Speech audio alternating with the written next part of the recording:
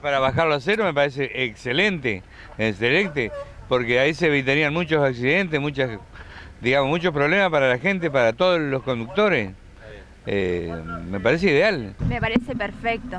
Es que se debe conducir con cero gramos por litro de alcohol, sí.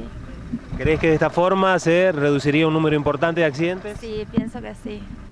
Y para nosotros fue siempre así, eh, no, tolerancia cero. Está bien que sea para todos, está bien que sea para todos, sí.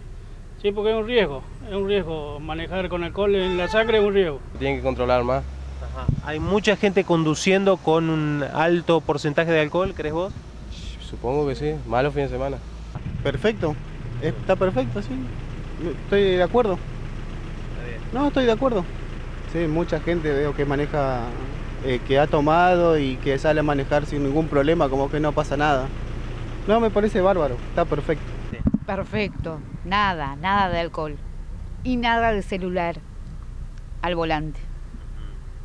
Así de esa forma que se reduciría un número importante de accidentes, ¿qué crees? Yo creo que sí, que sí, sí porque vas distraído con otras cosas. Si manejás, presta atención a lo que estás haciendo, de una cosa a la vez. Y nada de alcohol. Y nada de alcohol.